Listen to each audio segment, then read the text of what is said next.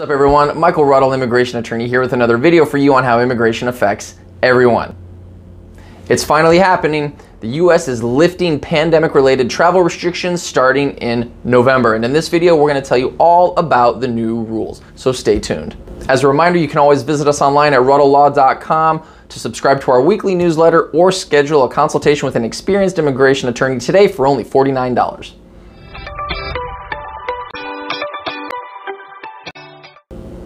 It feels like we've been waiting for this day for years now. The Biden administration announced that they'll be lifting all pandemic related travel restrictions starting in the first week of November 2021. Although the exact date hasn't been announced yet, it's expected to be in the first week of November.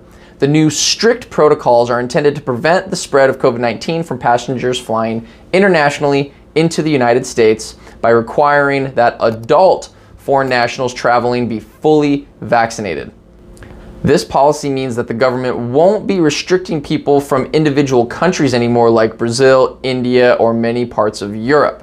Specifically, the new rules mean that starting in early November, foreign nationals traveling to the US will be required to be fully vaccinated and to show proof of vaccination before boarding an airplane. The current requirement for everyone to show proof of a negative test within three days of boarding will still remain in place even for fully vaccinated travelers. In addition to that, the CDC will continue to strongly recommend against air travel by Americans who are not fully vaccinated. However, unvaccinated travelers who return to the US will be required uh, prior to boarding a plane to provide proof of a negative COVID test within one day of their departure. Also, you'll have to provide proof that you've purchased a COVID test to be taken after arrival to the US, and you will be subject to a contract contact tracing order that will require all airlines to collect information such as your phone number, your email address for every passenger coming to the US and to provide that information to CDC upon request in the event of an infection and they need to advise people of contact tracing. This is meant to follow up with travelers who have been exposed to COVID-19 uh, variants or other pathogens. It's important to note that these requirements will apply globally.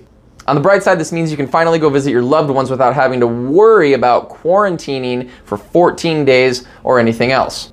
There are limited exceptions, such as children, COVID 19 uh, vaccine trial participants, and there's humanitarian exceptions for people who have, don't act, can't access a vaccination or something like that. But individuals who are exempted from the vaccine requirement for traveling might still be required to be vaccinated after arrival. So in other words, you might not need the vaccine to get on the plane, but you might need it after you arrive.